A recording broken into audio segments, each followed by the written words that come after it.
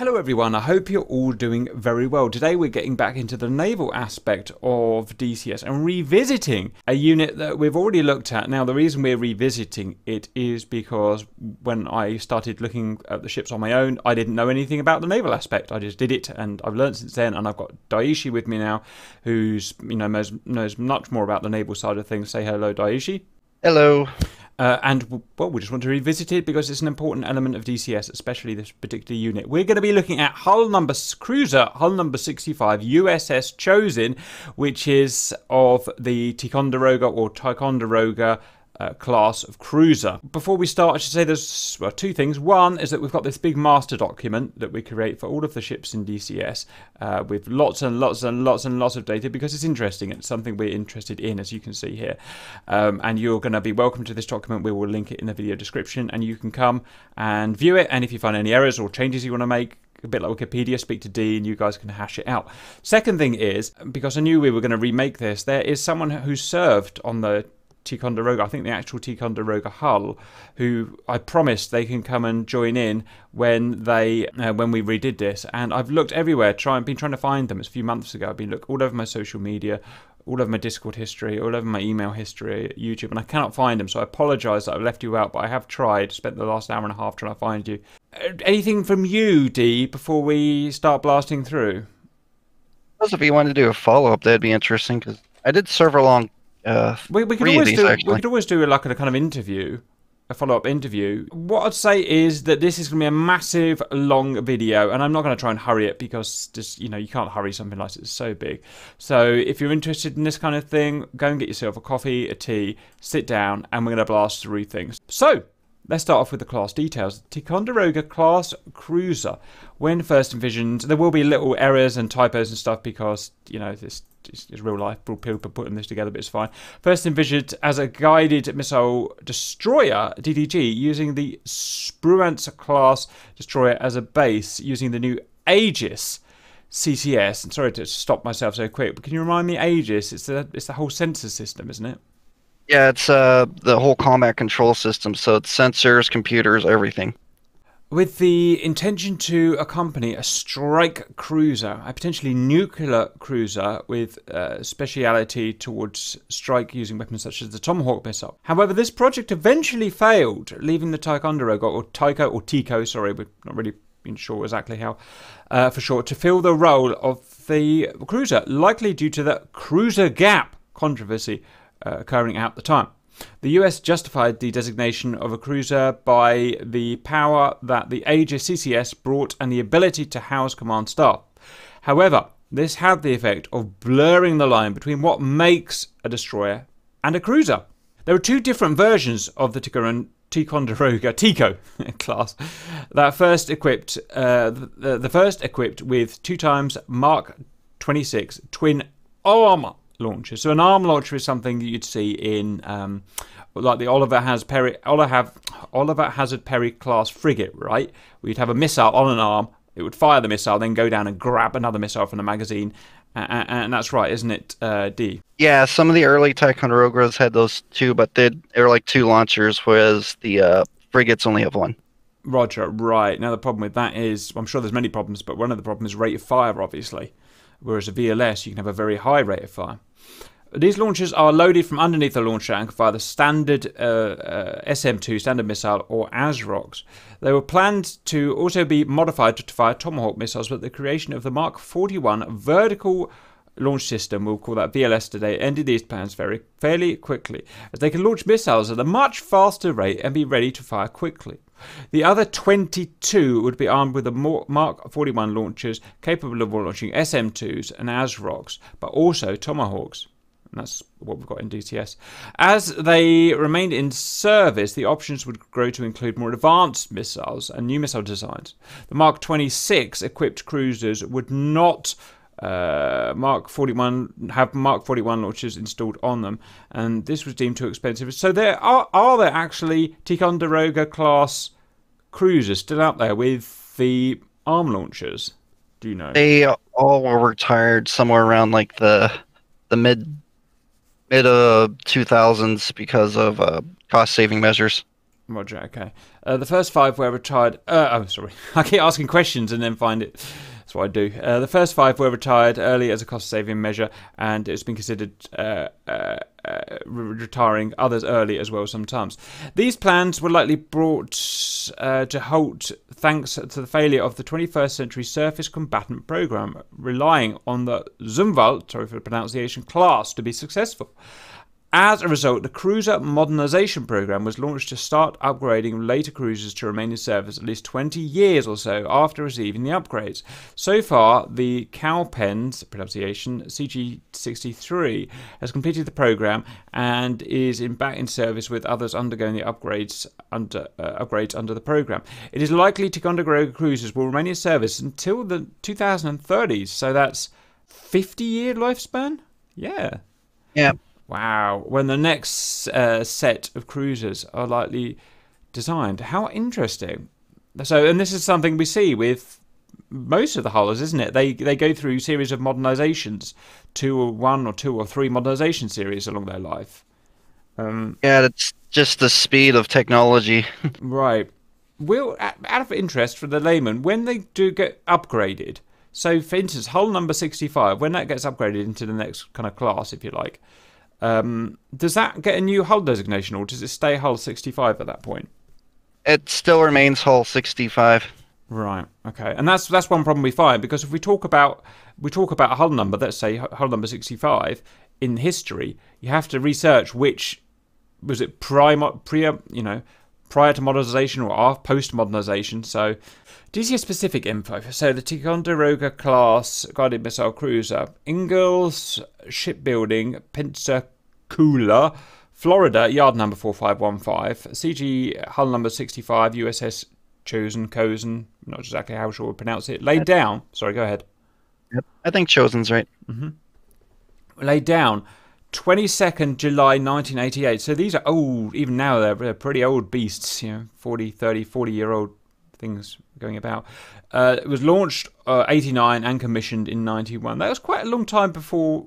No, that's fine. That was only three years. Three years is normal. Uh, 27 of the type were completed. 22 are active at the time of making this, we believe. Two laid up, five retired. Remind me what laid up means? Uh, laid up in this case means they're in dry dock undergoing all the upgrades. Oh, right. Okay, fine. General characteristics displacement light uh, let's say uh, just over 7,000 tons fully laden just under 10,000 tons. So that is yeah that is cruiser isn't it? Yep. Yeah. Length we've got uh, 570 feet in my unit. Beam 55 feet. Draft 34 feet quite hard draft than is is a cruiser, isn't it? Speed. I'm guessing that's flank speed at 32.5 knots, which is pretty good for a cruiser, I think. And that's getting on towards kind of frigate speed. Uh, range 6,000 nautical miles at cruise of 20 knots, uh, 3,300 miles at 30 knots. Crew 383, uh, accommodation for 405. Very good. It's a big ship, that is. Forget how big yeah. these cruisers are sometimes. Um, yeah, when I was on the the spurts that was on uh, Cushing, I can say that these things they were like docked right next to them. They're pretty decent. Roger. Okay, engineering. Uh, right, we four times General Electric LM two 2500-30. These are uh, COGAG, combined gas and something. Sorry, what's COGAG? Uh, combined gas and gas. That means you've got two different uh, gas turbine generator or uh, two. I mean, two gas turbine engines going into one shaft through right. a uh, like think of it as like a gear shaft, main reduction gear. That's what it is. Okay. Uh, so we've got four, and we've got twenty-one and a half thousand shaft horsepower each. So that's getting on for ninety thousand horsepower uh, gross um, which is quite a, which is a decent amount. Um, and what was our weight again? 10,000, just under 10,000 tons full. Okay. We've two shafts and variable pitch, pitch, pitch, pitch props. Take a sip of tea, everyone. Let's move on. Systems. Now, this is a real big beast. This is probably the biggest one we've done from systems, and we've done carriers, we've done everything now, haven't we? Um, can you quickly explain, roughly explain the color designation and any other designations you want before we start cooking through them on this uh, chart? The color codes I got basically um with this I'm mimicking. Uh, there's a guy called Charlie 015 on the internet. He color codes uh, different systems on on ships to show what they are. It's like green is kind of like surface or or like a general purpose thing. Uh, blue's usually oriented towards uh, like SAMs or air. Uh, green is I'm sorry, yeah. Uh, orange is oriented towards like guns, so like your sea whizzes and such. I chose red to represent uh, underwater, like uh, Mm-hmm. anti uh, submarine. Okay. Yellow is anything like uh, electronic warfare, and uh, purple designates anything for like a surface target or ships more specifically. Right, and remember those colours because we'll be looking at them later in the images. Let's blast off. Radar fire control radar. So we're starting with the SPS 64V9 um, with a range of up to 37 kilometers. Surface search and navigation. So the civilian equivalent of the RM 1226X. So this is the kind of thing that looks like a kind of uh, hammerhead shark spinning around that we see on on civilian vessels, right? Yep. Uh, this one will have like a blue stripe on it that says Furuno. Right. Okay. Um, we've also got the SPS 55, 65 kilometers range, surface search and navigation uh, naval radar. Um, It's probably going to look like a similar thing, I'd imagine. Yeah, this one's is going to be all gray. Roger. Next, we've got the SPS 49 V7 or 8, depending on variant. Now, this is the one of the big ones. This is up to 463 kilometers. So that's almost unbelievably far, far for a radar. So, wonderful thing about having a ship is that you can add the weight of a really heavy, powerful radar system. Obviously, you just can't have something as powerful as this on an air, aircraft for obvious reasons. But it's lovely having a plane, uh, uh, uh, the ability to have it on a ship. And uh, we've got up to 90,000 feet, basically, as- you know, as long as you ever you know, need to go 100,000 feet, whatever that is. This is a two dimensional um, air to air, AAW, air to air.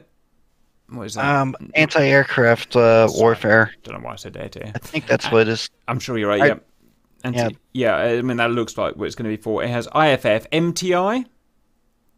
Uh, shoot. I'm going to leave that I think on. it was multi, mul uh, like a multi-target indicator or something like that. Okay, yeah, I guess that makes sense.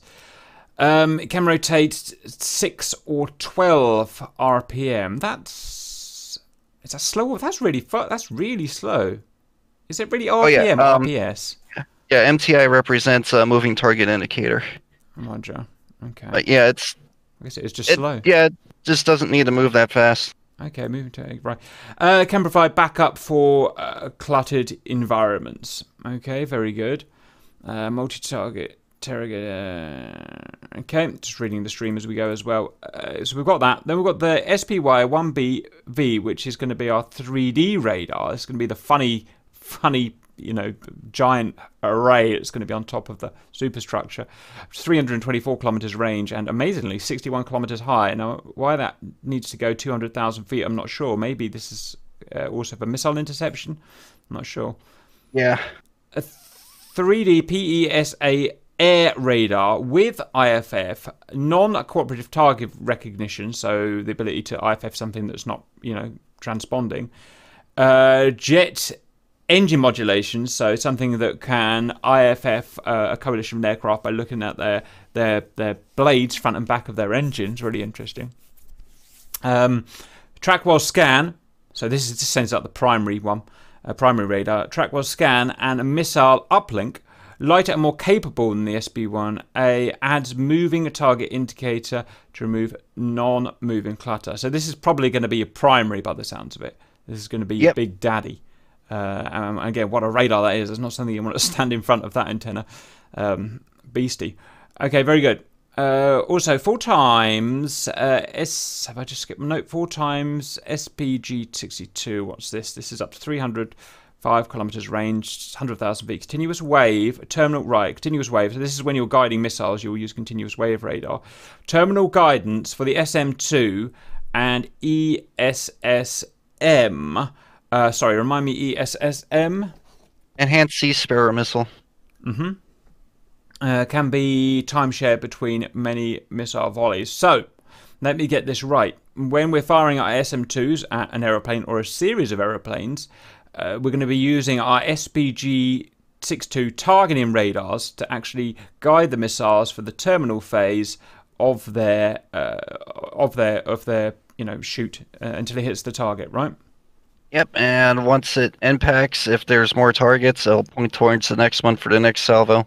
Roger. SM2 uses data link uh, for original uh, reading from the stream for the you know the main flight path, and then this radar continuous way continuous way for terminal guidance. Um, now, just note that SM2s could also be used. I'm pretty sure for uh, surface surface, so you can shoot ships with them. Presumably, the SPG2 wouldn't be useful for that because you're going to have over the horizon problems. But it's just something interesting that myself and another guy was talking about uh, how they guide over the horizon to a surface target. But I, I don't know. That's just what we've been talking about. Very good. Um, and as we know, these missiles can be shot at and attacked many targets at once for the reasons. I wonder if one, only one SPG can track only one target. So, like, you have to define an SPG for each target. I don't know that. I'm just guessing, but just interesting. I think so. I never thought to look at that, but I think it is like one one SPG to one missile because there's no mention at of, one point. there's no mention of track while scan, and presumably you need track while scan if you're going to have more than one target per radar. But again, we don't really know. But let us know what you guys think.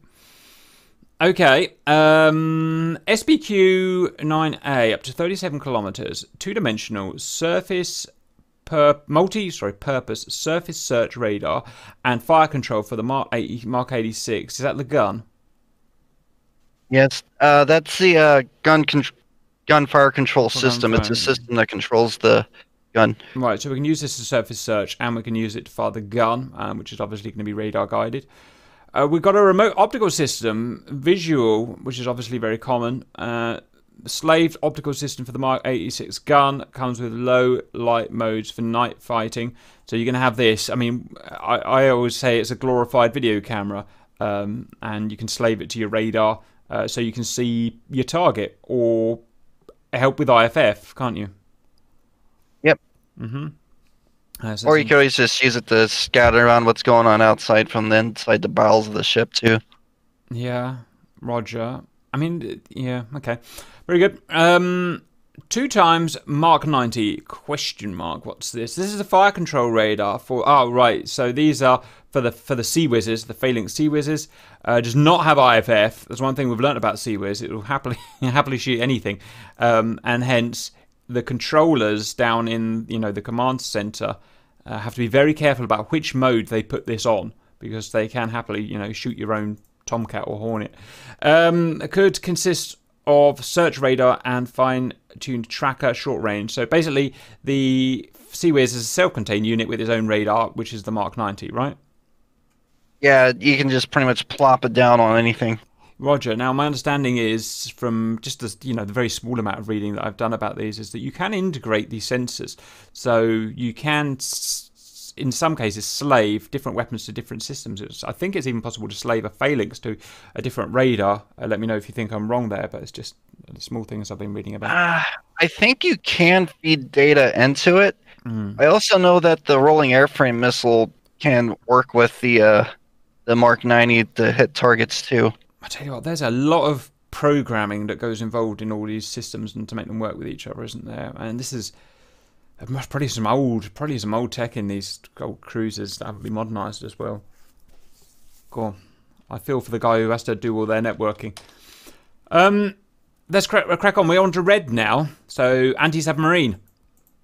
Yep. SQS 53 Bravo V2 up to 74 kilometers. It's an active passive sonar, so it's listening, but it can also ping. Is that the right thing to say? Yeah. Send out an active wave, that'd be a ping. Uh, better target uh, association, passive performance, and multiple target tracking over a version. What does that mean, if any? What does this- Yeah. The SQS 53A. That's what it's comparing Oh. to. I got confused. And has some digital components added. Right. So, do we know is this is this system going to be housed in a kind of bell underneath the underneath the hull somewhere? Yeah, like if you look in DCS, you'll see the bulb in the bottom. That's Ah. the sonar dome. Right. Okay, that makes sense. Uh, right. Also, ANSQR19V1 TAC TAS up to 130 kilometers. Passive. I love these things. Passive towed array sonar can be strung about uh, half a mile from a ship. Just give us a quick kind of 30 second overview of what this is and why it does its thing. Uh, what it is is it's effectively a, uh string of uh, passive microphones hooked onto a cable that you string out from the ship. You can use it either to get a good signal away from your ship from all the the noisy engines and everything, and if you're in an environment where the water from two different areas have different temperatures, that forms a, a thermocline. I think that's what it's called. Whereas uh, sound will propagate differently. You can use that to get a better picture underneath that uh, layer of warm water Mhm. or colder water. Roger. And something not too dissimilar, an SKLQ25A Nixie, a couple of kilometers roughly, we think, towed torpedo decoy connected with fiber optic cable. So this is something we're going to tow behind the ship. Uh, it can simulate louder machinery noises for the target ship, has magnetic countermeasures, better waveform info. Can also send active pings back to the torpedo, but louder. So this is going to pretend to be our ship, and hopefully the torpedo will hit that, uh, obviously. Right, now we get into the really complex stuff, and this is where I start to get lost. Uh, Electronic warfare, SLQ-32AV3 jammer range unknown. Um, ESM, sorry, what's that? Electronic support measure. System can provide radar warning receivers, so we can listen for other radars, ships, planes, whatever. Receives not only radar signals used on most aircraft and missiles, but also uh, uh, targeting and surveillance radars for even major ships. V3 can jam missile uh, radio frequency bands. Cool. So that's probably is that a whole array of antennas, or is that just one antenna, or don't we know? Uh, this is this system is like a clump of radars hmm. into into like one mount. Usually that's what you see, isn't it? You on the side of a superstructure, you see just a bunch of bulbs and stuff that is the EW, and that's all you know about it. Just it's there. Okay. Uh, Mark 36 Mod 2 SRBOC decoy launching system. Uh, the Mark 36 launching system becomes the system when Nulka components are installed, capable of uh, consisting only Nulka launchers or could be installed alongside the six tube Oh. launchers of Mark 30. I made a mistake there. That's supposed to be uh, that's supposed to be like uh, six tubes, three at. Yeah, this is the system before Nulka. I put the wrong description in there. Roger. So what we're talking about here is the physical tubes that will launch countermeasures out. Is that what we're talking about? Yeah, Okay. And then what we've got here under that is a is all the sub variants and the sub munitions it can fire. Okay. So what we're going to have is four. To, so there are, are there four units with six barrels each. yep. Okay, and Mark 137 Mod 2, 40 per pair uh, of launchers. Range varies on the type of cartridge used. Launch for the SR Bokken equivalent decoys 130mm mortar decoy launchers, 3 tubes 45 degrees, 3 tubes 60 degrees. Type of ammo that we can use in them. Uh, no, not all times found. So, yeah, so, I mean, take it with a pinch of salt. Different ships over different periods would have different versions of these and different types of these, but okay. Generally speaking, Mark 182 SRBOC chaff split into two stages. Uh, macro cassettes for stage one and plastic wrap packages for stage two. Has two mod versions. So this is for. Uh, is this for blocking radar guided missiles, or is it what is this actually for? This chaff. Uh, Uh, that one I believe is to act as. I can't remember if it's distraction or seduction. Where distraction just throws out a giant Mhm. cloud that you can't see through, and seduction is like what you have on the fighter jets that you're trying to get the missile to go to that cloud. So if you're if you're going along the Strait of Hormuz, and uh, what are those nasty things that the Chinese made that fire from the shore? Worms. Silkworms. Uh, if silkworms sticks, uh, if they they fire at you, they're going to be radar guided. Um, and you're going to pump a lot of this out, and hopefully they're going to either be seduced by the chaff and go for the chaff and just not blow up, or um, then just going to be distracted and just lose their target or whatever. Um, 1986 is that 1986? The next one. Yep. Uh, so from the beginning, we've got the 214 CNAT a distraction and uh, CNAT uh, seduction. Excuse me. Uh, we've got a Mark 186 torch, standard flare decoy, uh, lights upon contact with water. So does okay. Uh, mod two improves flame. Mod three is an advanced flare decoy. This is uh, what is this? To stop hostiles getting a infrared lock and or launching infrared guided missiles at you? Yeah, uh, there are some uh, IR guided uh, Mm-hmm. anti-ship missiles. They're not as common. Well, um, the uh, let's have a little think. Just in DCS, we've got the IR guided AGM 65. Oh, my brain's going now. Getting so old. I can't remember one of the variants, F, I think, and that's an IR guided anti ship missile. You know, it's going to look for the heat of the boat and, and go for it. So, yeah, exactly. Um, we've got the two, EX252 multi stage IF flare in order to walk off uh, to an IR seeker. Starts with high intensity flares, then goes to long lasting flares. So that's a multi stage that's going to try and literally move the seeker head's interest away from the ship, right? Yep. Uh, Mark 245 Giant deploys five submunitions, releasing warm smoke, glowing particles, and gas radiation. Um, each can walk off IR seekers, so the same kind of thing, but a different variant, if you like, a different method. Super Chaff Star produces a large chaff cloud, creating a radar cross section of 10 kilometers squared from 8 to 18 gigahertz up to 20 kilometers squared for spot frequency. So that's a fancy chaff, I guess.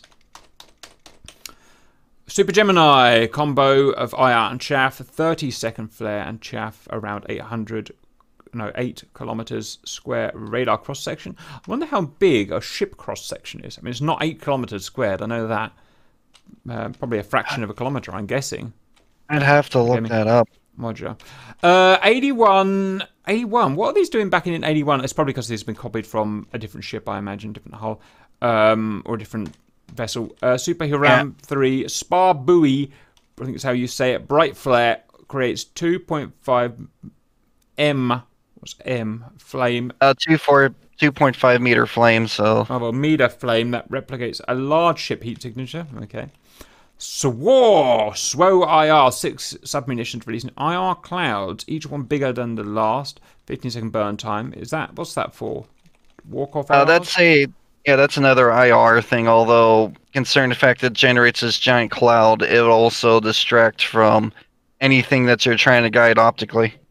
Roger. SLAD, I can't think for it. Roger. SLAD, acoustic torpedo decoy.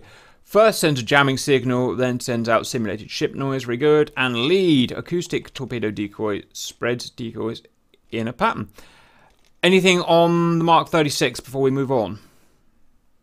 Uh, nothing else really, other than the Mark 40. The 36 is like the control system itself. Roger, launch system, Roger. Okay, next we've got, um, what does minus 98 mean? Is that before 98?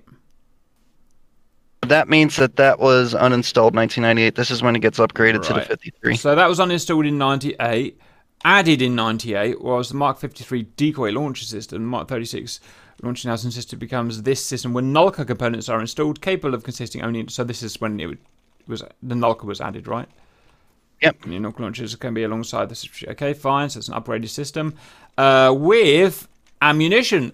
Uh, trying to get this right. Four times two. Mark 136 mod 10. Eight total. So what is this? Four times two tubes. Yep. So it's gone to less. Presumably they're better countermeasures or something. Well, it's more like these are with the uh, six tubes. Okay, fine. Uh, yeah, I got. Oh, I got you. Launcher for the Nulka Seduction decoy. This decoy is a rocket launch and uses the rocket to hover in place. Wowzer! While transmitting a signal that mimics the radar signature of the ship launching it. How clever! Isn't that clever? Yeah, this thing's real cool. It was a uh, collab project between the U.S. and Australia, if I recall right. Right. So, vampire, vampire. Uh, we've got um, uh, silkworms in the air. or you know, coming towards us, send up the Nulka seduction decoy. It's going to go up. What, what does it hang in a hang on a parachute or something? It sort of has a. Actually, I don't think it's a parachute. I think it just sits there with a rocket motor, and it just kind of keeps it in place. Yeah, and the the poor little um the poor little vampire is going to go. What should I go for? What should I go for? What should I go for? Let's go for this one. Hits the decoy. Ship is more or less okay with maybe a little little shrapnel damage. Very good. Six times six tubes, 137 mod 4, 40 uh, ammo, read above for ammo types. Is that for the, uh, is that the ammo types above the the multiple types? Yep. Yeah, it is, isn't Yeah, it? Six tubes. yeah. Effectively, they uh, added on two more Yeah. of the Sorbach launchers. Very good. And finally, W4 times SLQ 49 passive, floating passive radar reflector that looks like a ship to a radar, dropped via rails. D well, F2 is improved version with larger ECS DLAV used fixed launcher tubes. Known to UK as rubber ducks, can act as a seduction decoy. Um, I get the idea of it, but what does it look like to the layman? What is this? Is this a thing that's sitting on the sea, or Yep. Uh, imagine like a giant inflatable twenty-sided dice. That's pretty much what it looks like. How clever! In in the air, we have things like TALDs. Uh, we used to know, different things now that would, would would pretend to be an aeroplane. So this big eight-sided cube or uh, uh, Uh, twenty-sided. twenty-sided dice D20 is sitting there pretending to be a ship.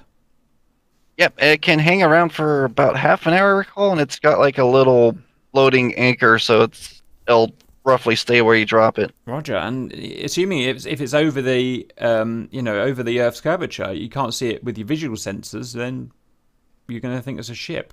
Apart from the fact, I suppose Yeah. it's not moving. Yeah, and also if they launch it early enough, you go to try to find it. Now you got two signals. You don't even know which one's the right one. Mm, interesting. Right. Very good. Right, we're going to move on to communication, satcoms, and comms. So, uh, purple, two times OE. I'm not going to read that out, but that's the ultra high frequency satellite comms. Correct. Can establish a connection with the UHF follow on SAT constellation for uses such as DAMA, voice, and data comms. Very good. Um, I always wonder if there's any black spots in the SAT systems. Did you ever hear of black spots in the SAT systems where you couldn't hook up to a satellite? I don't think the most of the systems the US have access to has any real um blind spots in it. Roger.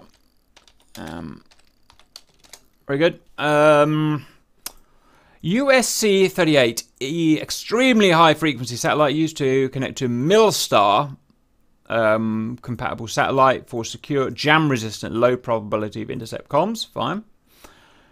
Oh, I'm gonna struggle with this one. In Inmarsat. I haven't heard of that one. What's Inmarsat? Inmarsat's like a company, um, an international marine satellite. It's a uh, system that you can use for voice comms and data. There's civilian versions too, and this was roughly what one of the things the Navy used to get their feet wet on using uh, satellite communications much more. Roger. Okay. So introduced in '94, we had this guy. Introduced in '98, we had this guy here. Designed to send voice, video, and data can connect both civilian and military based on constellations, high-speed data connections. Very good. Uh, he was taken away on 2002. He was added on 2002. Two times CTEL. Uh, used a uses a civilian-based antenna to access both civilian and some military networks.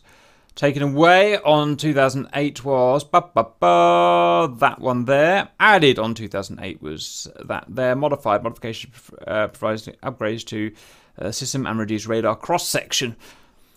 Uh, high frequency, high frequency radio systems capable of voice and data using both whip and fan wire antennas. Are these ship to ship high frequency, or are they? What do you You reckon? could use it to communicate the shore too, because some some if you use it right, you can use it for a long haul. Right. Yeah. I mean, this is this is all very complicated. If I wanted to speak to someone about this, my dad, you know, did this for a living for um, for decades, and he could, you know, tell me the different frequencies and how you could bounce them, um, how far you could bounce them around the world and stuff like that. Anyway, uh, very high frequency and ultra high frequency point to point seer uh, gaming uh, used for ultra high frequency line of sight. Ah, right, surface voice and data communications. So this is what you're going to bounce to ships, yeah? Yep, mostly. You can use it to talk with planes too. Roger, yeah, absolutely. SSR1 uh, here, antennas designed to receive teletype communications from satellites. Okay. Yep. Uh, we've got the URN, uh, we're on to green here, URN 25, 300 miles miles max. Uh, this is the TACAN, Tactical Air Navigation for helicopters, allows uh, helicopters to find the ship. Uh, systems. So we've got the Aegis Mark 7 baseline force CCS. It's going to get very complex now. Combat control system connecting all sensors, and this is the idea of kind of Aegis, wasn't it? That you you you you connect all your sensors together into one kind of giant thinking machine and make the make it a smart ship and uh, weapons and consoles together into a in control and decision computer and weapons control system for quick reactions. Uh, uh, because before this, you were, you know, each weapon and each radar was controlled by essentially, you know, a guy in a room, and and nothing was linked together. Everything's linked together now, and quick reactions can now happen by a computer. It's much quicker than man. Can track 128 plus targets, meant for uh, uh destroyers and some uh, cruisers. Use cruiser computers with programs intended for flight one uh, destroyers. Anything to add to that before we move on to the details? Yeah, to clarify, this was meant for the early, early Burkes, but when they were building some of these later Ticos, what they did was they just took that baseline and put it into them. Right. So, and the Arleigh Burke was the um, was the modern Aegis destroyer. Roger. So, um, SQQ89V3 anti submarine? Yep. Warfare combat system capable of combining data from multiple sources, systems such as the analog. Lots of names there. And LAMPS, which is anti submarine processor torpedoes. Uh, uh, when you say CNC, uh, command and control? Yep. And more. Okay. Added in 1988, the Aegis Mark 7 Baseline 5 CCS adds JTIDS. Remind JTIDS? Uh, here, joint tactical. It's a type of data uh, link. What is what I remember. Yeah, type of data it, link. Yeah. This is more of like a control system for it. Like you'll get different things that hook into JTIDS, and this kind of helps uh, like uh, figure everything out. Right. So this is 1988. So we've got JTIDS integrating with Link 16 data link, which is going to be used by aeroplanes as well. Uh, the SM2 system for the standard missile 2 system uh, CNC, pro- CNC processor, combat direction finding, tactical data exchange information system. Uh, this guy here, as part of the baseline, was implemented in three phases, may consist of more systems. Okay. Baseline 5, that was. 2011, Aegis Mark 7 Baseline 6 added. Baseline 6 consists of CEC. What's that? Uh, that is the. Uh, oh, shoot. Combined engagement capability. It's not the exact thing for it, but that's when you've got a data link that you can work with other ships and fire their missiles at targets you're tracking and such. Roger. I've got fiber optics. I'm guessing for speed, but I don't really know. Advanced Tomahawk control systems. We've got JMCIS. We've got ESSM. Any idea on JMCIS? Uh, Fire control system upgrades adds more simulators and trainers. Some variants also have BMD. Lots of acronyms being fired at us now. Uh, so that's 2011. Um, added uh, also cooperative engagement capabilities. Oh, cooperative engagement capability CEC US G2. System and data links members of the battle group to share IFF and sensor data for the fire control. Can allow units in that network to use data from other ships to fire or even guide other ships' missiles and more. Uh, USG2 is surface version, uh, the air version is USG3. Very good. So I can fire my SM2 over the horizon and a frigate over there can guide it for me, right? Yeah, frigate, destroyer, um, even the some AWACS, like I believe mm-hmm. the E2D mm-hmm. modified and E2Ds have that. Yep, cool. Uh, data links. I'm not sure if we can still use all these, but it'd be interesting if we can. Uh, we've got 4A, so I think Tomcats would have used that. The old Tomcats, uh, TADIL C, data link uh, between air and surface units for ATC, auto carrier, land, ACLS, air intercept, strike vectoring, and setting canes for your alignment. Link 7, Table A, uh, secure data link for US Navy Oh, ships. That's uh, that's link eleven. What did I say? You said seven. Yep, don't know where that came from. Link 11, um, secure data link for US Navy ships and some aircraft for near real-time tactical picture. One unit is net controller, others are picket sharing the, their data. Um, then net controller shares the overall picture, uses high frequency, ultra high frequency, and SATCOM. Link 14, teleprinted data link designed to receive link 11 messages not commonly used. And link 16, which as far as I'm aware is still used today, TADIL J, 1998 onwards. Secure jam resistant TDMA data link for joint operations can be sent over line of sight, SATCOM, or over long haul protocols such as TCP IP, intended to replace Link 4A. Very good. Which moves us on to the mighty array of weapons that this thing carries. Anything before we start that? This was a nightmare to compile. hmm I have no doubt. Bearing in mind that this changes a lot over the years, so well done for doing this anyway. Right, let's blast off um, as best we can. Mark 41 mod, uh, zero vertical launch system, 1 times 61, 1 times 61, so 121, 22 tubes, if you want to call them that.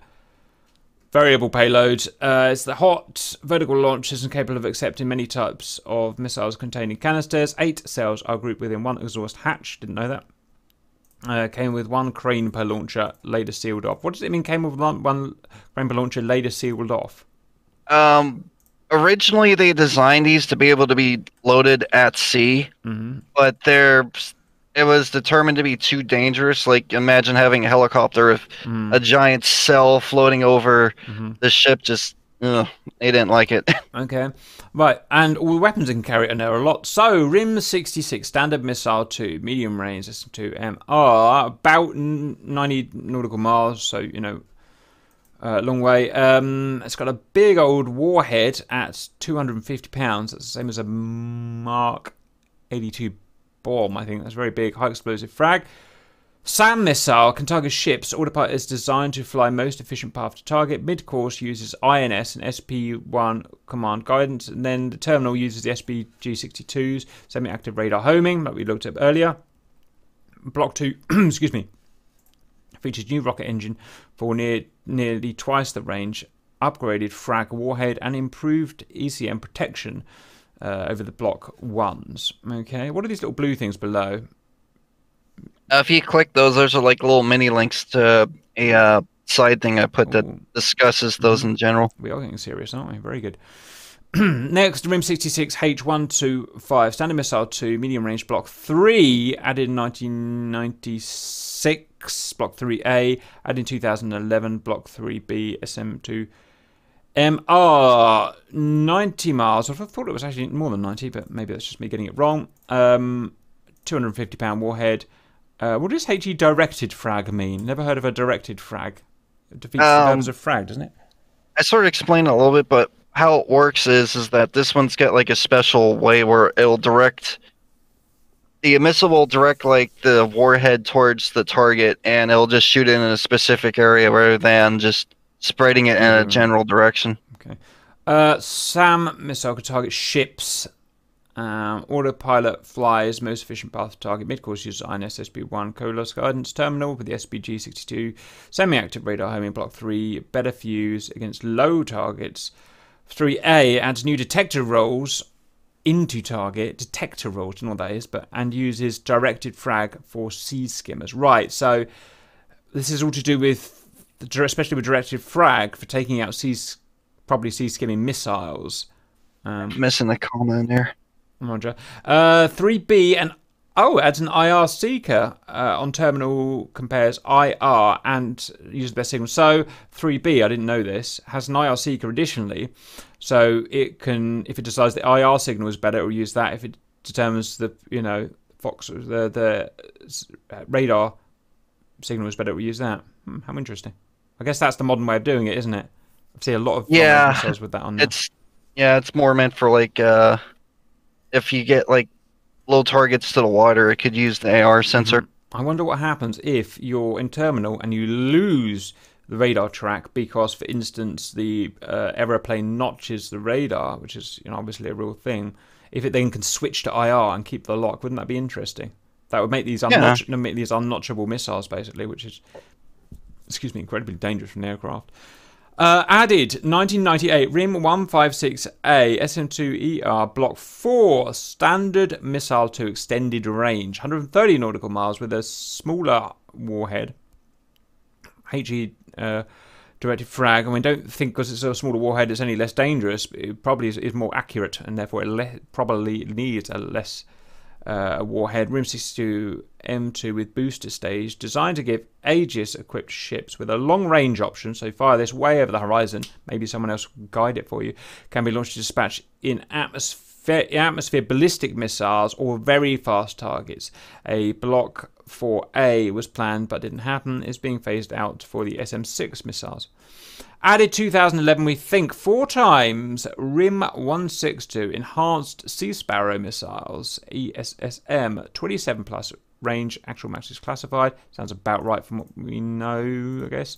Uh, uh, for a 90 pound warhead, heavily redesigned RIM 7. So this came from the, the AIM 7 Sparrow. Yeah, what happened was the Navy was trying to design a point defense uh, missile, but that pro- that project failed, so they uh, worked with the Air Force to use the work on the Sea Sparrow. Roger, it can work with Aegis, so okay. Enhancements include larger booster for better acceleration, computer and thrust vectoring. Didn't know that for 50 G turns. Jeez, so you're not going to be outmaneuvering this puppy. Uh, although note that'll only be on the burn stage for 50 G turns to counter oh counter maneuvering ASM. So what they would find is that the latest RB15 or whatever could dodge the missiles, right? Because those old Um, SM2s weren't very, well- and so they added thrust vectoring, so you can no longer dodge around them. Yeah, well, the big story behind this one was that they're trying to design a uh, active version of the of the Sparrow, but the Air Force dropped out of the Sparrow program for their ab- AMRAAM. So, um, the company that was making the uh, ESSMs, they're like, "Hey, you know, we could rebuild this missile into something else," and this is the beast they came up with. Right, very good. Um, going back in time, BGM 109B Tomahawk anti Tomahawk anti ship missile. Wow, I didn't know such a thing existed. Okay, I thought the Tomahawk was always get land. 240 because it's a, you know, it's going to be a jet powered missile. Uh, 240 miles, 1,000 pound HE blast frag. So it's a Mark, in terms of actual uh, warhead, that's a Mark 84 2,000 pound bomb. I think it would be the thousand pound bomb version. No, a thousand pound It is- bomb only has only has 500 pound of actual. Uh, Oh yeah, that's right. so- they so- discontinued the thousand pound version. I forgot about that. Crews built for anti-ship uh, use. Uh, yeah, uh, use uh, uses a similar active radar homing system as the Harpoon. So it's got its. So this one's got its own radar on. Okay, it's fired in the direction of where a target is expected to be, and uses a similar navigation active radar homing system as the Harpoon. It can engage in sea skimming mode once locked on, and is known to be agile and attack from multiple angles. So I'm just trying to think why this exists. What was wrong with the harpoon? Is it because this can go much much further? You can just fire Yeah. roughly where you think a carrier group is and say, yeah, they're probably over there. Put those coordinates in, and it will work it work it out itself and go all that way. Because I think a Yep. harpoon is like uh, 70 or 80 miles or something from memory. Okay. Yeah, it's a bit further down. I think that's about Mhm. right. And then we've got BGM 109C TLAM Tomahawk Land Attack Missile Conventional Block 2 to A 700 miles. Wonder why it can go so much further than that one. I guess it's just better. 700 miles, it's a long way. It's almost cheating, I'd say. Again, 1,000 pound high, uh, high explosive frag. Warhead cruise missile designed for hardened, hardened targets such as airfields or naval bases. Uses inertial navigating system Tercom DSMAC. What Tercom and DSMAC? Do we know any idea what is this is satellite? It must be satellite, mustn't it? Uh, the Tercom is what it does is uh, it's called uh, terrain. Uh, oh shoot, contouring. Uh, basically, what it does is it looks at the features underneath it to figure out where it is. Is that using so it's own got its own sort of radar sensor on? Yeah, it's like it's like using like a radar altimeter to get a picture of the whole area, and then DS Mac uses pictures and it takes pictures under it to help figure out where it's at. Roger, yeah, and this is absolutely a thing. So if you were going to go and fly these, for instance, Mi8, uh, possibly even the Viggen, but definitely the Mi8 in DCS, um, it has a downwards pointing Doppler uh, that maps the terrain as you fly across it. And because it remembers where that terrain's moved, that's how it navigates. It's an amazing piece of technology. To be honest, pretty terrible from what I remember. But it, you know, it can it can see where the bushes and stuff are moving, and therefore it can track where it thinks it's been. Uh, this is you know pre GPS, obviously, um, and, and, really interesting. Um, actually, using it in DCS, unless you're a master, which I'm not, it's bloody impossible to use. But it's an interesting piece of tech anyway. Block two only targets from the side. Block three. 2A adds uh, two more free play decimated terminal paths, so pop up or dive, and detonation over target. Needs 80 hours mission planning time. What does that actually mean? It needs 80 hours um, mission planning time. Basically, if you want to fire a missile with these earlier hmm. versions, you need to spend 80 hours uploading data. all the data right. into the missile. Because it has to understand that here's the thing: if it's going to uh, know the land it's crossed over, it has to know, you know, what land to expect and so on. So I don't, you know, I don't know exactly how it works, but anyway, uh, we've got the D version, which I think is what we get in DCS. I think. Uh, yeah, Tercom is terrain contour matching. Roger. That big Oz there. Copy. Thank you, Mr. Oz. As ever, uh, the Delta version, um, dispenser, uh, 700 miles, 100, ah, 166 BLU, 97 bombers. So this is, uh, what's the word, cluster. Uh, cluster, same kind of thing, but cluster. Uh, warhead, um, shape charge, frag, and incendiary. Missiles are meant for soft targets like aircraft and air defenses. Uses the same uh, uh, guidance systems, which I didn't know about. Has 22 canisters, 7 bomblets, 2 canisters, 6 bomblets. Can use partial bomblets to allow for multiple attacks on one mission. Wow, uh, can fly in multiple patterns, 8 hours mission. Uh, I'd love to know. Does anyone, if anyone can let me know the puck size of those, the bomblet size, I'd love to know that for a BLU 97. Um, I've forgotten the puck size, but that's interesting. Uh, very good. Uh, add in 93, the uh, C model. I think we've already been over, so what's different? Ah, this is going to be a Mark Block 3. These are old. These Tomahawks are old, aren't they? I wonder when the A model will come out, if anyone can find that. Uh, that was 60s or 70s, I hmm. believe. And the early versions, I believe, were nuclear. Wowza. Yeah, right. So that's where the Tomahawk came from. What a beast. So this Block 3 model, all the way back in 1993, it just seems such a long time ago now, 900 nautical miles range, 740 pound fuse, high explosive blast frag, uh, cruise missile designed to harden targets such as airfield bases, Block 3 jam resistant GPS, DS Mac upgraded more efficient engine, program time of one hour, so not 80 hours uplink, but one hour, can loiter in an area uh, for time on target. How interesting. So it can spin around in a circle or whatever until it needs to hit and be given new GPS targets using TTWCS Tactical Tomahawk weapons control system. Right, so you can change target halfway on its course. And that's only in 1993. Amazing how complex this stuff is at such an early age. Remember what computers were like in 93? They were horrendously bad. Uh, Oz says BLU 93 length stored. Uh, we've got 17 centimeters deployed and 22. So that's, that's a half a foot pucks. Something like that. Still going to ruin your day. Right, 2006, the Echo version of the 109 tactical Tomahawk land attack missile. Uh, block 4 smaller warhead again. Um, 900 kilometers. Uh, uh, uh, cruise missile designed for hardened targets, upgrades, anti-jam, and UHF sat uplink to allow redirection to 15 pre-planned targets or new ones mid-flight. Can also loiter and transmit a video signal back to the controller. Interesting. Uh, designed to be cheaper than the TLAM CD uses GPS. Uh, so we're, GPS was invented by now. Well, actually, it was. GPS was late 80s. I'm surprised they didn't all use yeah, GPS. It um this one's basically designed to work through if someone's trying to jam a GPS signal, which is easier than it sounds. Right, absolutely. I mean, GPS is. I mean, yeah, yeah. Well, there you go. Right, um, move on to. We're done with our tomahawks. Moving on to something else. Red. Remind me what red is. Submarine. Anti-submarine. There we go. Rum 139A, uh, vertical launch anti-sub rocket. Uh, you can go out to about 12 miles. Mark 46 or 54 lightweight torpedo. ASROC was designed to be compatible with the Mark 41 uh, VLS. Effectively, is a rocket launched torpedo that flies to a designated point uh, via INS and drops into the water as a torpedo to locate the target from there. Very impressive um, technology back there.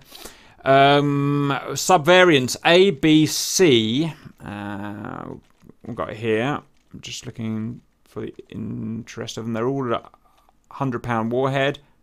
100 pound warhead. That's incredibly small for a, for a torpedo, isn't it? When you're usually well, talking about thousands. Yeah. Due to the way that things work underwater with the physics and mm-hmm. such, when it explodes, it creates a vacuum. So it's like it's not just the it's not just the impact of the mm-hmm. explosion, but then it's the ripping of it from the vacuum because you got to fill it in with something. Interesting. Okay. Um, so 100 pound a torpedo built to engage high performance subs. Since upgrade since it's introduced in 1968. Wow. Okay, and yep, that's old but reliable. Unbelievable. A NATO standard active pressure homing at 1.2 kilometers.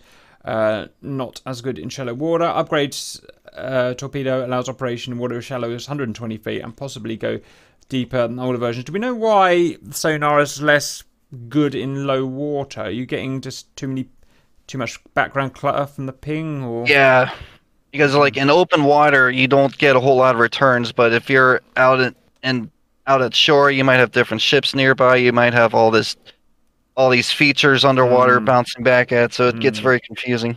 Roger. Uh, then we got the next one, which is new torpedo combining parts of the previous meant to operate effectively in shallow and deep water uh, while being cheaper than the Mark 50 uses active sonar passive radar. So I wonder if it's all about the the process, like a radar, the processing out of the reflections and the clutter. Yeah, that's definitely a part of it. Hmm uh, which you can do obviously with computers on board. Mark 141 launcher varies on missile la- launcher for the art. So this is probably going to be mid- midships usually be find. Um, uh, this one's going to be in the aft portion actually. Oh, oh. Okay, is it traditional uh, above deck launcher that you see? Yep. Okay, launch for Harpoon. I wonder why they're not coming out of the VLS. Launch for Harpoon missile added year indicates the missile release date, not equipping date. So harpoons, and we've got the two variants of the Block 1C up to 80 miles with half uh, with sorry 500 pound warhead and delayed impact fuse for penetration and damage. Originally intended to attack surface surface subs. Didn't know that.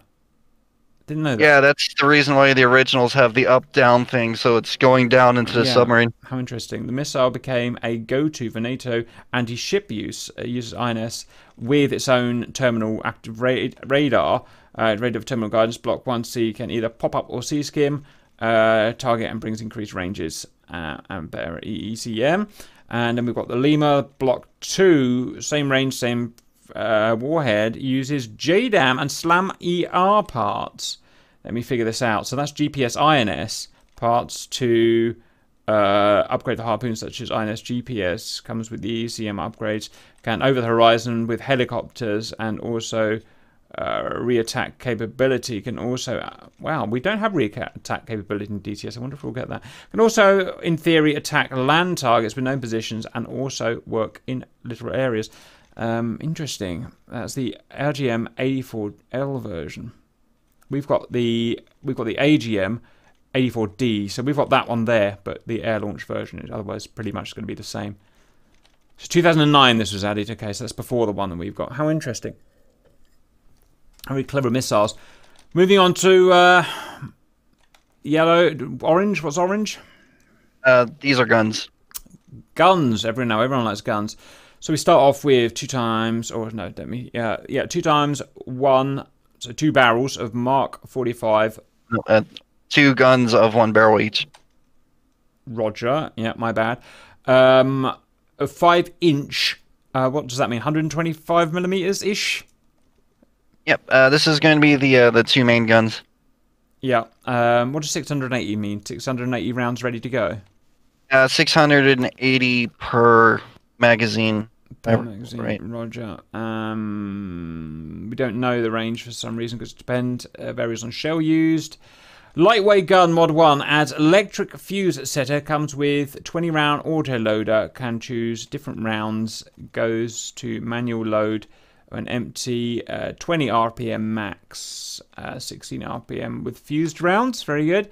Note this is not a comprehensive list of ammo types. So we can have Mark 88 high explosive CVT. What's that? Uh, combined variable time. Uh, these are like their descendants are from the World War II shells that's Mhm. designed to use uh, radar to detect what's close to it. This one will Yeah. use a timer to turn it on. That's in case of things like if you're in like a rainstorm or if there's some magnetic interference going on. You would use this to turn on the radar seeker right before it's supposed to hit. Who's deciding which bullets to load, or is Aegis deciding that, or does anyone know? Yeah, it, it can be remotely controlled. It's like it's almost like a 20 round revolver is like how it was described to me. Roger. I'm just be told that it's five. The bullet is five inches wide and 54 calibers long. I still haven't worked out what 54 calibers means or calibers, but I'm going to Uh, learn one day. I, if I recall right, I think a caliber is how much longer it is compared to the shell. So this is like 54 times longer than the shell is uh, in diameter. Okay. Doesn't sound right at all to me. That sounds like an incredibly long shell, but okay. well, this Um, is the barrel we're talking about. Oh, right. Okay, right, I'm there now. High explosive shell with combo time and radio fuse. Okay, we talked about that. Uh, Mark 80 high explosive PD, which is point detonating fuse, uh, all about 60 to 70 pounds. You wouldn't want really want that landing on you. Okay, fine. Uh, we've got an Illum, so that's an illumination round used in mechanical time fuse. So back in the day, back in the good old days, you'd call that star shell, wouldn't you? Illuminator. Yep. Uh, also Willie Pete, if you know that one. Roger. Uh, Mark 116 uh, HEVT. A variable time radio proxy fuse. Now, what's the difference between that and the CVT com- combo timed?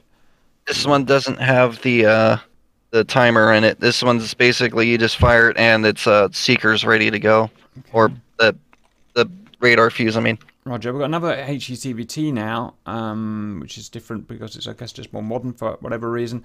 Got a Mark 156 HEIR. And I didn't, wow, this exists. High ex- Uh, IR fuse. Um, so it's a high explosive shell with IR sensor fuse. Now I'm wondering why on earth would you need that? Maybe for an aeroplane? Uh, Uh, yeah, these are designed for um, anti-ship cruise missiles. Anti-ship cruise missiles. Right. How interesting. Very good. Very good. Um, we've also got six times uh, um, M2 Browning machine guns to be fired presumably by humans. Uh, uh, that's how what it fires. Mounted heavy machine gun for small boat and pier defense uh, with ammo types. Uh, okay, what do we got here? Uh, in 2008, sorry, in 2008, took two of them away and added uh, Bushmasters 25 mic uh, by 67 calibers, which means the length of the barrel based on the diameter of the bullet. Inter- Interesting. Uh, can go that far. Now, the uh, yeah, electrically operated guns, you're not going to have a guy holding this. Uh, different types of rounds we've got there, which I'm learning about at the moment, actually. High explosive incendiary, high explosive incendiary tracer, semi iron piercing, high explosive incendiary with tracer. Don't know F pads, don't know A pads. Uh, Um, yeah, the uh, Oh, the F pads is a frangible armor piercing. This is more of if you're trying to shoot something, but you got people nearby. You don't want the rounds uh, bouncing off or reflect or right. Yeah, I get this, it. this basically just splits when it hits the target. Shrapnel control, that kind of thing, or okay. Yeah, like ricochet control. Ricochet control, just got it. Right, okay. Uh, very good, guys. Uh, 25 mil electronically operated gun comes with an electro-optical sight, so it's controlled by a guy in the hull somewhere. Ship roll compensation and improved interface and ammo loading. Fire up to 180 RPM, so it's like something like that. Can also be equipped with a coaxial uh, machine gun for close in. Two times six Mark 15 Block One phalanx wow, six of them. Yikes. Um, tungsten armor piercing, discarding Sabot rounds. Yep. Um, self-contained Seawares using a 20 mil Vulcan cannon, pneumatic barrels, 4,500 RPM. That sounds like. Uh, more ammo, better processing, uh, improved elevation, has auto mode recommended, manual modes off. So, yeah, the various modes I found interesting to read about. In 2008, two. Sorry, it's not six of them, it's two times six barrels. Two times six barrels, right. In 2008, 2 times 6 barreled Mark 1 were removed. 2008, 2 times 6 barreled Mark 1 Block 1Bs were added. Uh, the difference being self-contained unit uh, looks exactly the same. Um, oh, okay. I'll just read through it. Uh, improvements include new gun barrels, cartridges, and an IR sensor for better interception and for surface use. Has same mode as Block 1. And again, no IFF. Red, back to anti-submarine. Um, so these are the uh, these are the big ones. These are the foot uh, 12, 13 inch torpedoes, aren't they? Are these, these, ones are actually the lightweight ones. Usually the heavy yeah. ones are reserved for the subs. Right, yeah, yeah. Um, gotcha. Now, these are these are midships or are these hull launched, do you know? Uh, these are inside the hull. I'll, i got a colored where the uh, launchers right, are hiding out behind the door. Right, so these are, yeah. Uh, we've got two times three sets of tubes uh, torpedoes tubes designed for use on the uh, DDG 51. Whether it was DDG 51, is that the?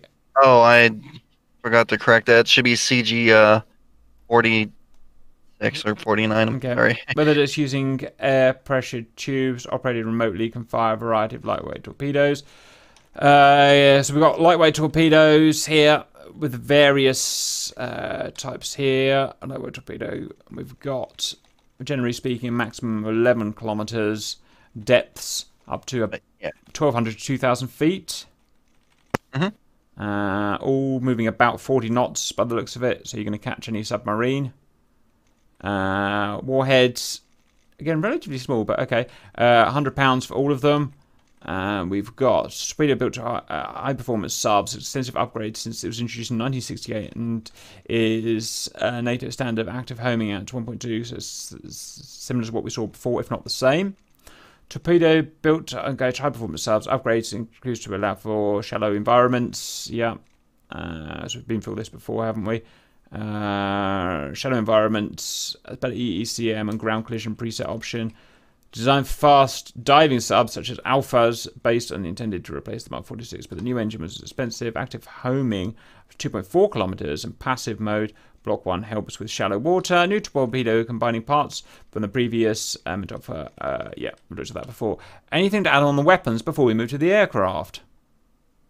Yeah, about the uh, Mark 50, like those some of those subs like the Alphas and the Papas, they go extremely fast. They're I think their top speed's like 41 and 43 knots underwater, so they had to divine, design the 50 to be able to not only chase them down for speed, but they can also dive really deep. So this is designed to go and chase them down to the depths of the ocean too.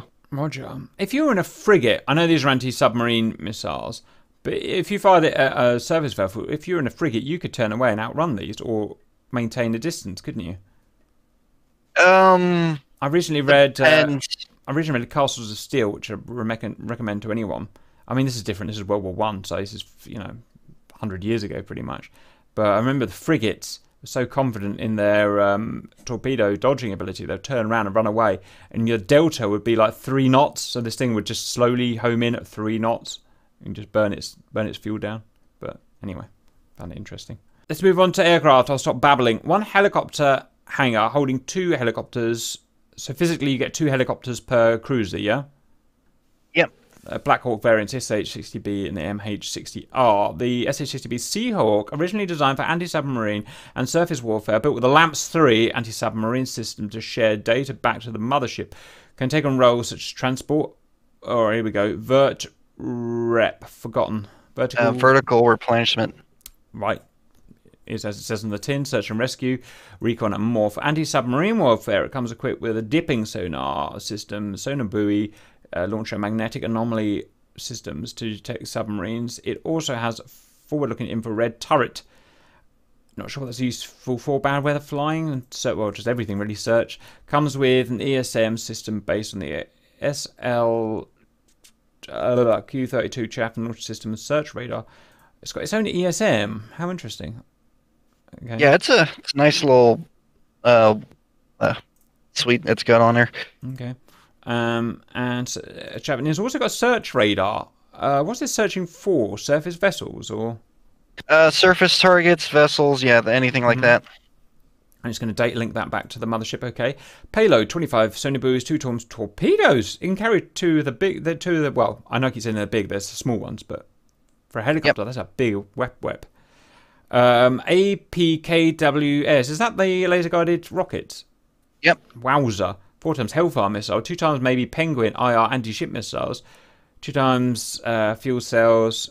Wowzer. It's probably a side, I guess, mounting M240 or M60 or GAU 16 or a minigun.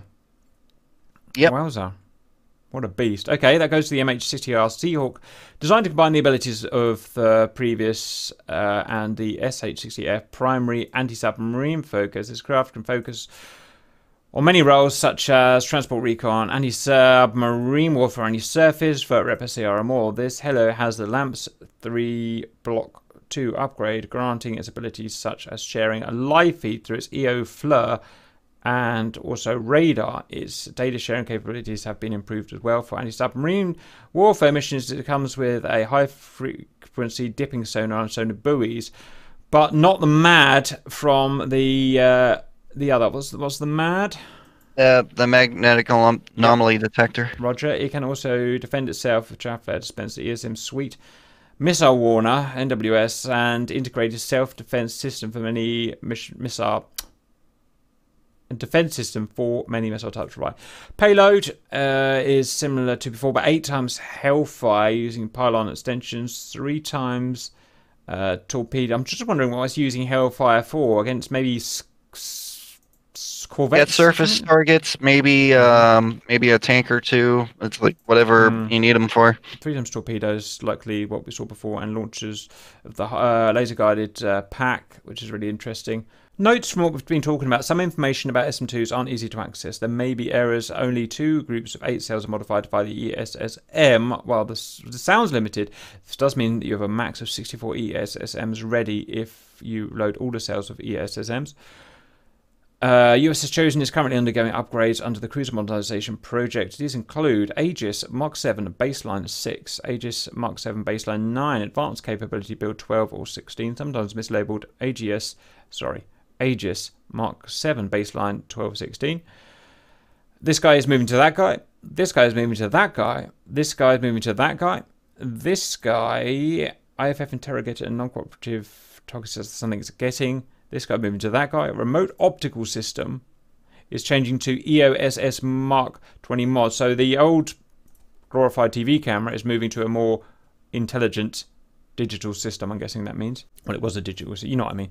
Uh, more intelligent system. Mark 50 launchers for the SLQ 49. So more intelligent systems there. Uh, standard missile 6 ERAM block 1 1A B2 one B capability. What's that say? Well, standard. Oh, right. So is it replacing Mark standard missile two with six?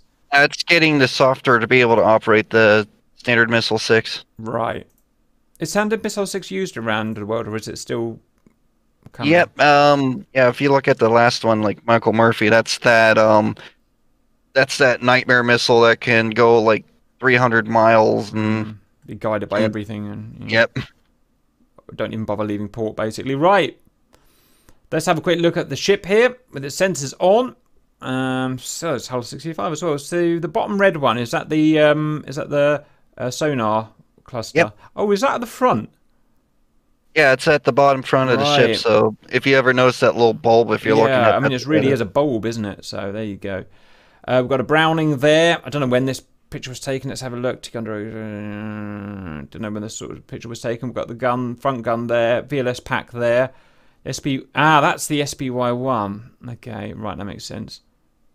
Right, so that's why we haven't got a giant kind of 3D radar on the top of the antenna array. SPG-62. So these are guiding our SMs in. Yep.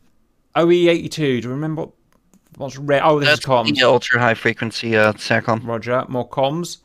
Uh, SPQ9A orange is gun. That's guiding our guns. Yep. Uh, green is civilian navigation, isn't it? That's just general surface General navigation. navigation. Link 16 IFF antenna. SPS 49. Our URN. Okay, more of that. USC 38 comms. Our Inmarsat antenna. Our USC 38. Our Mark 137 Mod 10. uh, What's that? That's the uh, SRBOC launcher. Oh yeah, sort of seeing there. Mark 15 block one. Oh, I've got phalanxes on either side. There they are. They're either side. Now here's the thing: those phalanxes can't fire forward and aft, can they? To shoot. Yeah, that's something that's peculiar okay. because typically you do have one facing aft because typically you would face your ship aft due to Mm, the fact that it gives much less of an RCS. Okay. Um, we've got the we've got more launchers there. Uh, um, uh, just you know, dispenser launchers, whatever you want to call them, tubes. Uh, SLQ32. These are the ESM. Uh, yep, that's the ESM and the jammers. So there's a bunch of bulbs and things there that's probably highly classified. More SPG2s for more missiles. Uh, more communication suites there. We've got a VLS pack there. We've got Mark 32 Mod 10 on the side. What's that? That's the uh, torpedo launcher. Oh, so would a torpedo just pop out of there and just ping into the sea? And Yeah, it's uh, basically that triple launcher that you saw on the uh, destroyer. Mm-hmm. It's behind that door. Very good. Right, there you go. Very good.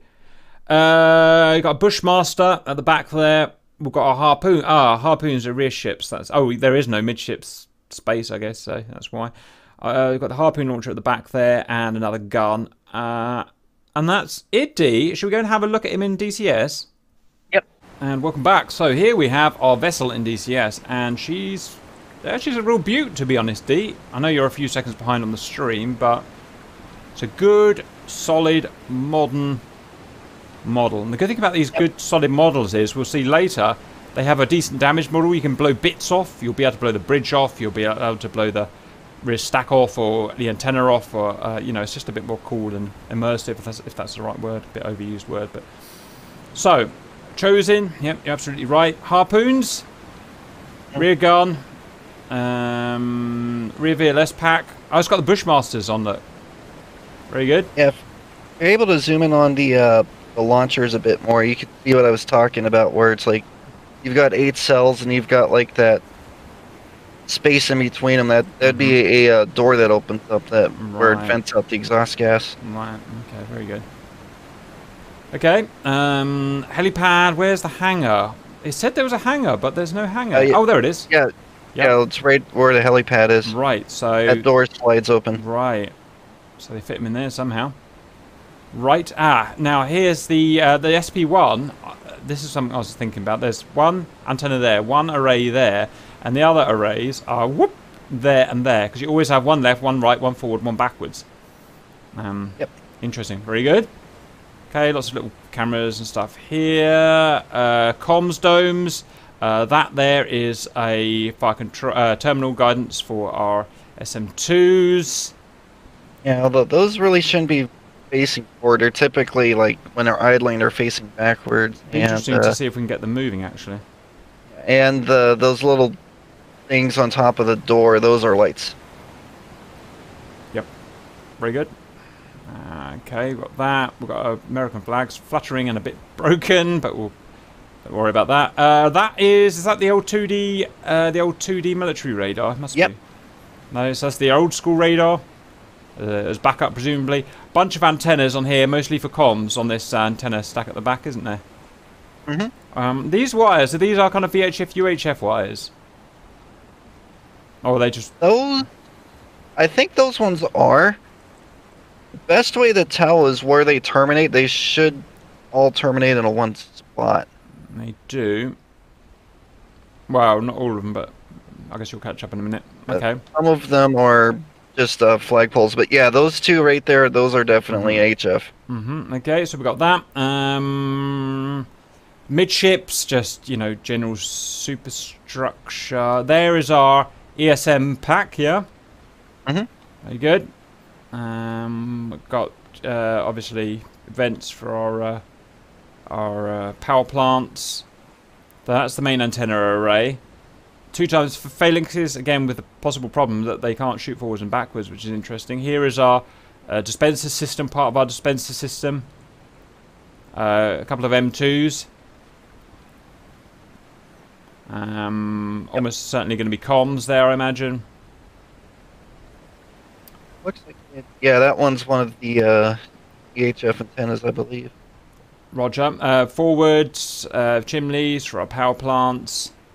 Looks like they forgot the SRBOC launchers. Yeah, Yeah, they, they were like here or somewhere, weren't they? I know you're Mhm. behind, but yeah. Okay, fair enough. Um, again, here's the thing though, because remember stuff was taken away and added over the years. Um, it's impossible really to get this perfectly correct because it depends which year you were looking at this vessel in. That's why it's so confusing. Uh, uh, search nav radar. Search nav radar. Oh, here's the blue one. Yeah, well found. Uh, search nav radar. Um, Is it? yeah, it's That- blue. Yeah. I think there's an Easter egg on that one. That doesn't say uh, Furuno. It says something else. I think. Yeah, I can't read it. Pux or Fugus or something. I can't really. I can't read that. um, I would try to repeat it, but I'm pretty sure it gets you demonetized. Mm, I've had enough of that. Uh, domes, uh, which I think was, I think it was comms, satcoms and stuff like that. Fugas, yeah. Yep, boys think it's Uh, the big dome on the top would be the SPG. Roger. Right, the boys are arguing now, so that means we have to stop it. Stand by. Fugas. Uh, I don't know, guys. I think that's the best we're going to do. Roger. Uh, oops, I've just stripped over to the wrong screen. a couple of antennas sticking out there. A comms antenna of, of some variant. Yep. Roger. Uh, oh, those the mhm. two with the blue on the bottom is Mhm. HF, and then the the round one next to them that's the uh, TACOM. Right, very good. Uh, we got here uh, SM2 terminal guidance radars. Him. Yep. And him. Yeah. Um, I, I want to see them spinning when we fire missiles out. That would be interesting. That's the four foremast done. Um, part of the A, part of the SPY-1. Forward VLS pack, obviously, uh, for doing what they do. Uh, what have we missed? Uh, forward gun. Um, got anchors. Missing a couple of M2s on the front here. I thought there was a couple of M2s. Oh, they they used to be there. I wonder. Oh, found them.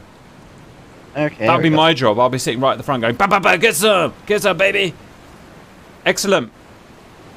Now here's the thing: anchor on the side, anchor on the front. I've not seen that before, but I guess there's a I reason for think that's supposed to be there for redundancy. that. Roger. Okay, good model. Happy with it. Um, anything before we start shooting some tings? Ah, no, I'm good. Roger. Um, that's it's just one thing I wanted to see. What is that? Oh, it's just like a little ladder or something. Very good. Technically, this is supposed to be a tutorial. I know it's obviously not, but let's just do it anyway. I want to move it. I'm going to go here. No, I'm not. I'm going to go uh, coalition. I'm going to go blue. I'm going to go game master or tactical commander. I'm going to click on the vessel. I'm going to go set path. I'm going to go left click, left click, right click uh, for a chain of waypoints. Turn his speed up. Now I can change his uh, um, his rules of engagement to fire, return fire, or hold fire. I can change his state to whether it's green ready. Uh, sorry, red. You know, red alert, red alert, green, automatic. I'm not sure they even make much difference. Depth, just ignore it. That's added for uh, submarines. Uh, let's see if we can get him moving now. S- off he goes. And uh, controlling ships in combined arms is notoriously awkward, but you know, that's what it is. Take a picture there. Uh, decided uh, you can see that they do list. Um, see his listing, which looks cool. Look at that list. Amazing. Daishi, Yeah, the way the listing's are actually realistic. have you seen um, just I'm trying to work this out at the moment. Is the smaller the boat, the more it lists, or is that just not right? Um, it could play into different things, like how heavy the boat is, how uh, how tight of a turn you're doing, Mm-hmm. how fast you're going. All those can determine how much it, it will list when it's turning. Roger. Okay, right. Well, everyone's come here for a reason, and that reason is probably to watch things go boom boom. So let's make that happen if we can. Um, I'm going to add a target. Now I can't remember which is the better way of doing it. I can either attack one of these APCs or attack a bit of land. And just for the lols, I'll attack a bit of land. Let's see if we can get him firing. Uh, no, I can't remember the range of this gun. Oh, the gun's aimed up, look. So the gun's ready to fire. So we can get that going. Oh, it fired missiles! What did it fire? I was not expecting that. I think it just fired off a tomahawk. Bless him, he's really going for it, look. Yeah, those are tomahawks. You know what? I did not expect that. Right, so here are the BGMs. Let's check what model they are. They are the oh the Bravos. They're the old, really old variants. But Yeah, I mean, that's supposed to be the anti-ship version. We're concerned how they both have the same uh, warhead. I guess it wouldn't make that much difference gameplay-wise. I wonder why he's fired so many bullets at a, uh, at a target. No, it's got this pop-up effect. It's gonna go boom boom. There is no doubt it about it. It's gonna go boom boom.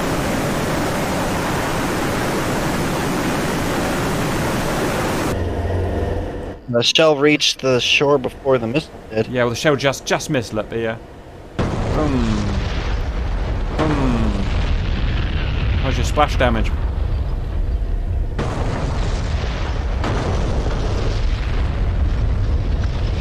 Wowza.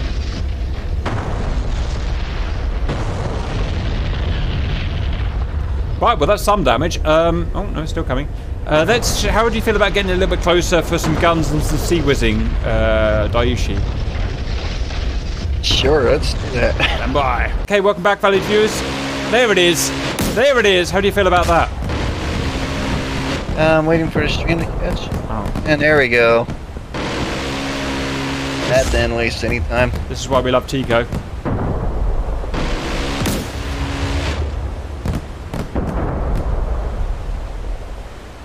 That's one sexy boat.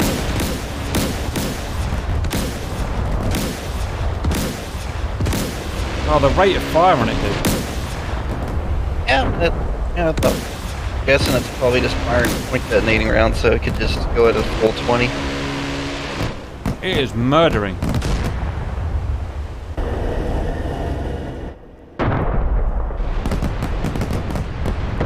Absolutely have to kill every mother beeper in the room.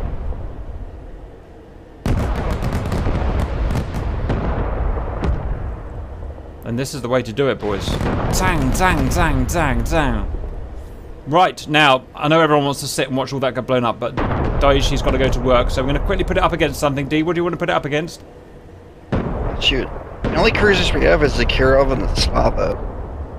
Um, well, what about a what about a Chinese destroyer? They're pretty hardcore. Yeah, that could be interesting, you know, like with its different AI. Roger, stand by. Okay, valued viewers, for the big fight, we've got the Tico, um, old but cool, versus what we think is going to be an excellent contemporary baddie. Well, actually, a very modern baddie, a 2007 or something like that, Type 52C Chinese destroyer, which is, let's face it, a lot smaller. Wow, look at that thing list. Oh, the harpoons are out already. I know they're not harpoons, by the way, but I always forget their Chinese names, so harpoons will do. C802, I think those? Uh, They fire, uh, they fire left and right, and then curve around. It's such a cool thing. Oh look, it's doing its swishy, swishy uh, gun evasion. See how it's swishing left and right there? So you can't get hit by guns. It's a different VLS system. More harpoons going out. Woo! Let's see what uh, Tico's doing. Tico's having absolutely none of it. He is literally, she is, I suppose. Yeah.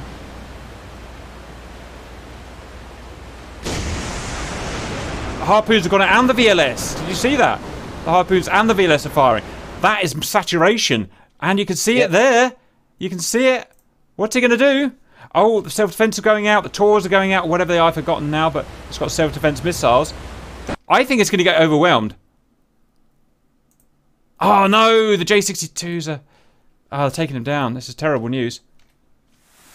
Come on, SM2! No, something's gone wrong with the SM2s.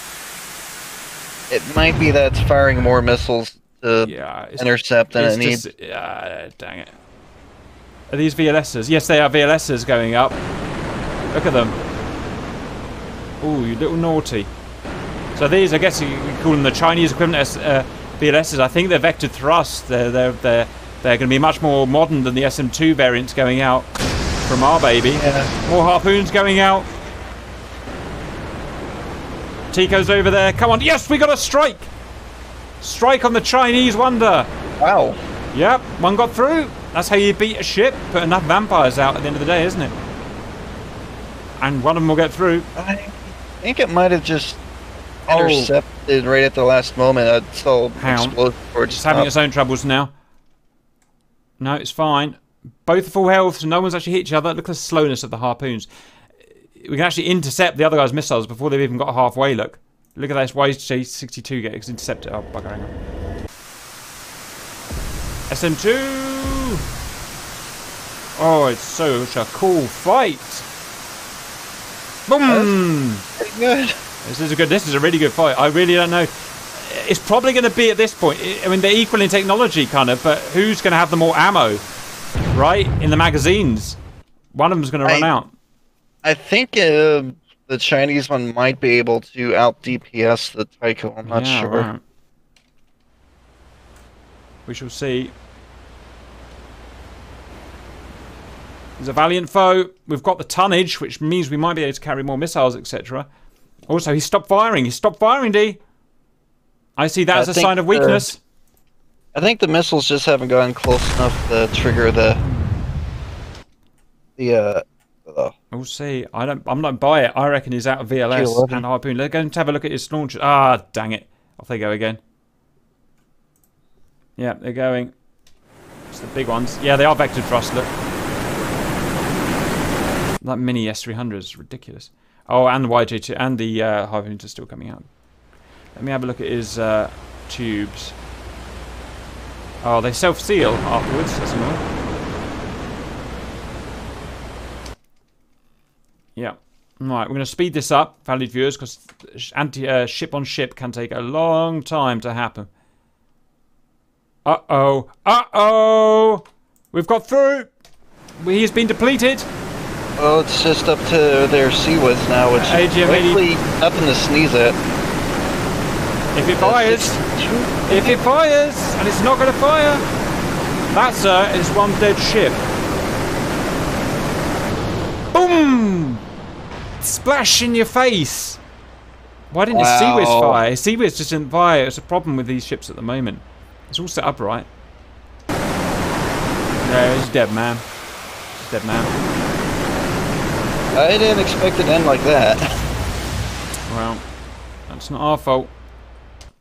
Right. Now, interestingly, he's not out of the fight. He's not out of the fight. And, wait, we are out of harpoons, sir. Where are my tubes?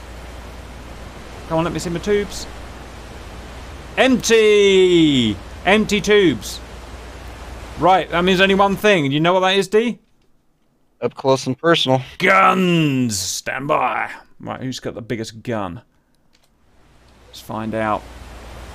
Okay. Yeah, I would say that Ticonderoga would try to keep it at range, but I don't think it's going to be easy to do that with the way ship's AI is. Roger. I mean, they're both all out of ammo now, basically. Now, in real life, I think those SM2s could actually aim at that ship, but he's obviously not programmed to do that. Yeah. Not sure if the HQ-10s can also.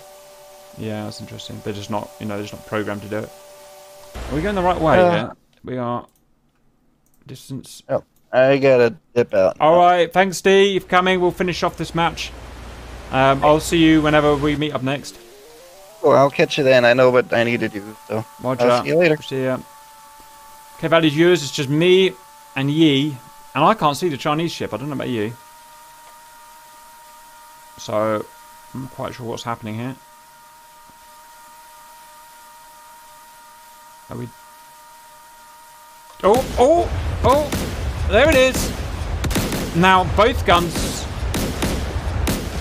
Jeez, look at the caliber, 54 caliber of that gun. That, sir, is a sexy beast. You can see the shells if you look close enough. Let's check out our little friend. Distance between them now is 12 miles. He's got a big gun, but it's not firing. Why? Maybe we've taken out his fire control radar. Maybe one of these that's damaged is his fire control radar. Either way, he is about to be in a world of poo-poo very soon. 12 miles of bullet travel is quite a long time. Ah, here we go. Even with radar guidance, bullets just aren't, or the shells just aren't that accurate. But the idea of a ship and ship combat is you take the guy out as maximum range possible.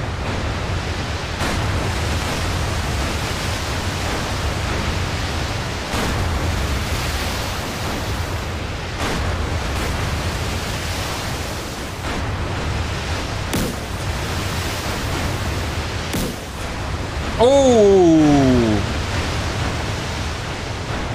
I've had a, a, a hit in the forecastle.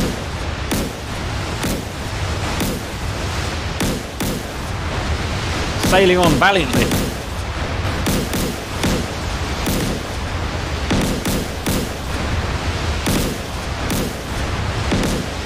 Boom!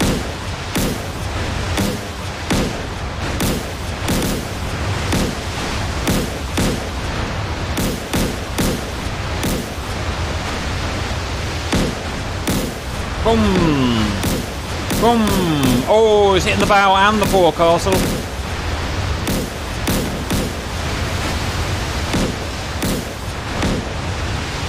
There is some smoke going up now. Oh, look at that! Look at that! Ship on ship combat, the best thing in DCS. Yep. Basically can't see anything now. And he is not returning fire, which means he's got an FCR problem. You can see the shells going up. Maybe you can't on the stream, but I can. Oh, there's a problem with the aim. The aim's gone wrong, look.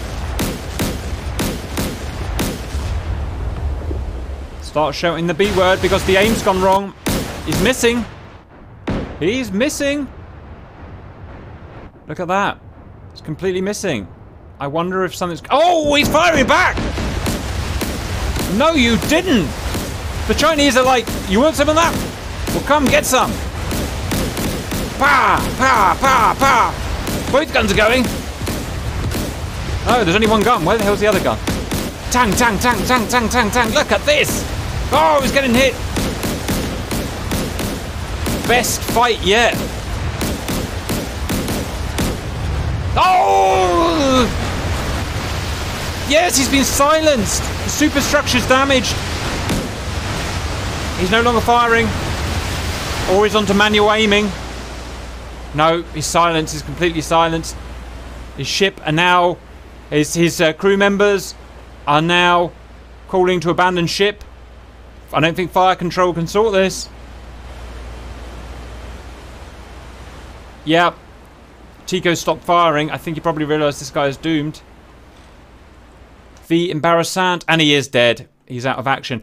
Interestingly, without a single, without a single speck of, oh, maybe, probably without a single speck of damage to Tico, is that, oh no, we've hit on the, uh, we've hit on the bow there, uh, and on the stern. Still got bullets in the air, obviously. They just take a long time to, long time to fall. And they're done. Scratch surface damage to Tico, a completely damaged Type 52C destroyer. What were the reasons for that? Uh, it's simply that uh, the Tico overwhelmed him with so much, so many rounds of uh, SM2 and whatnot that um, this guy was just completely overwhelmed and, and ran out of ammo, and that's the end of it. So, very good, fun. Um, I think that's it. Uh, thanks for D for putting all that together, um, and we'll see you later for another ship guide. Hurrah for now.